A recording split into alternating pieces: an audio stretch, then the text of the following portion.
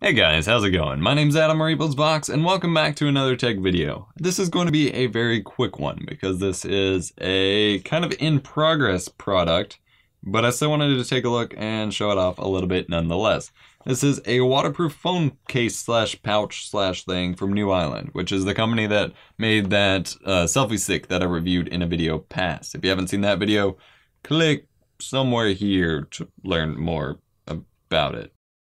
This video is made possible thanks to lynda.com. Lynda.com makes it easy to pick up new skills, grow your hobbies, or learn to use new software through their in-depth and easy to follow video tutorials and courses. I try to post tutorials as often as I can, but you can't beat the extensive coverage on lynda.com. I still go through Lynda courses on the regular to learn new things. You can get a special 10-day free trial by clicking the screen now or going to eposvox.com slash lynda to learn more. So this is their waterproof cell phone case. Since it's the summer, a lot of people are gonna be doing more activities involving water, although I guess it's not summer yet, but summer's coming up.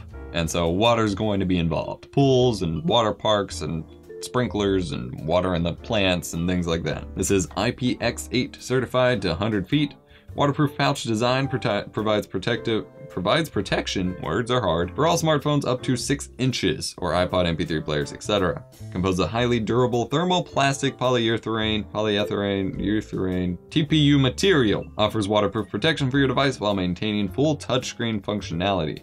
Simple yet safe snap and lock access. Now what interests me about this product, and then it has instructions on the back here, what interests me about it is the fact that it says you can still use the touchscreen while it's in the bag. We're gonna try that out.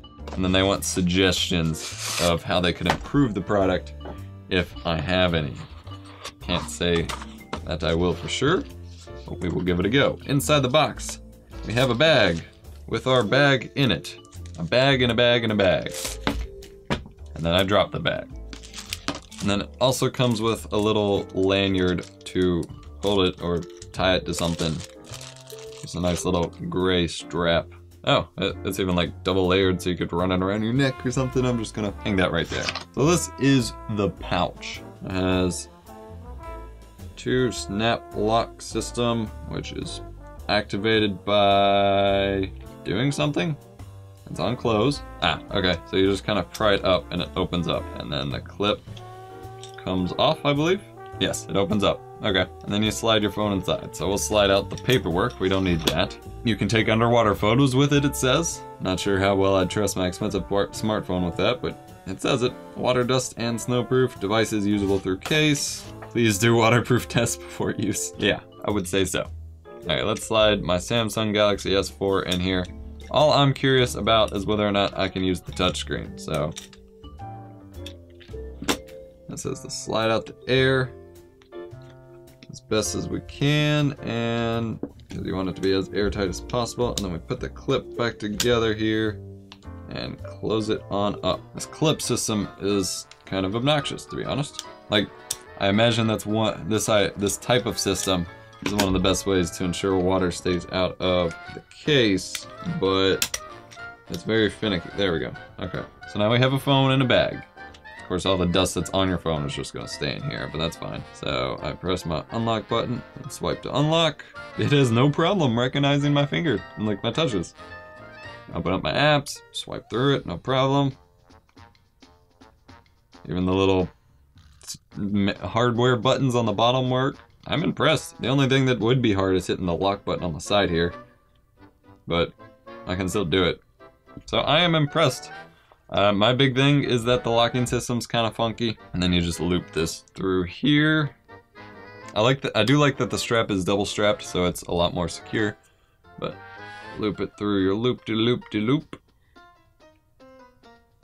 And it feels like the kind of strap that you would use with like water related toys and water guns and things like that. So it should be plenty durable.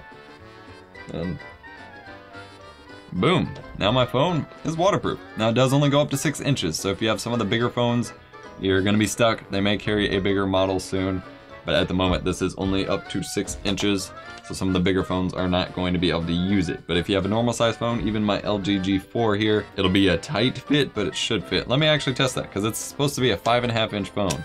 It is primarily aimed at iPhones like everything else, so, you know, that's their target size here. But sliding the LG G4 in here, Will it fit oh, on? And I did it perfect second time. Yeah, I didn't get the air out, but it fits. So even big old five and a half inch phones, while it'll cover the the little border a little bit, it'll still fit. So,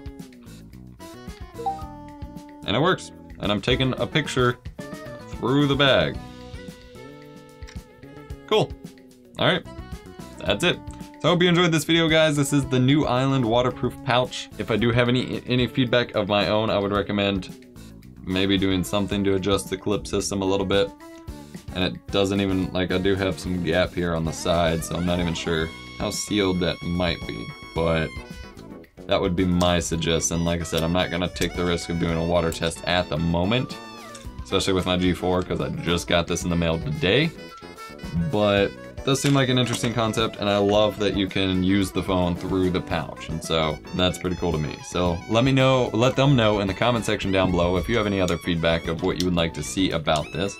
Maybe it should come in some different colors for sure, especially the strap. But other than that, guys, thank you for watching. Be sure to comment, like, and subscribe. Check out links to the product and other things in the description below, and I will see you in the next video. That was awkward ending for some reason.